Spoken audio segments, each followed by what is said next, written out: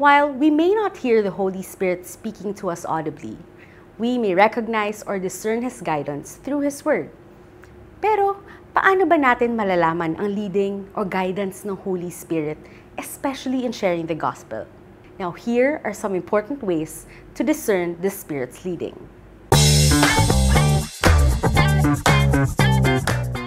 Number one, be filled with the Holy Spirit.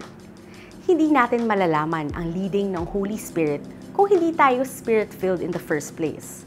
Now, what does this mean? We should be walking by the Spirit and not be given to our sinful and fleshly desires. Meaning, being filled with the Spirit will not lead us to sin, but will lead us to instead obey His Word. Two, pray continually Praying unceasingly opens our hearts and minds to the leading of the Spirit. Kapag surrendered tayo sa Lord in prayer, we will clearly discern His leading to share the gospel to the people God brings to us. 3. Know God's Word. Isa sa mga roles ng Holy Spirit sa buhay natin ay i-remind sa atin ang salita ng Diyos. So, not only will the Holy Spirit prompt us to share the gospel to people, but He will also bring specific Bible verses to mind as we share the gospel. Kaya, importante na we regularly read the Bible.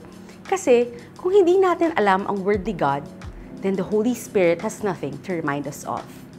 Tandaan na malaki ang role ng Holy Spirit sa ating mga evangelistic efforts. He is the one who orchestrates every gospel sharing opportunity or encounters. Yan ang importance in knowing the Holy Spirit's leading in sharing the gospel.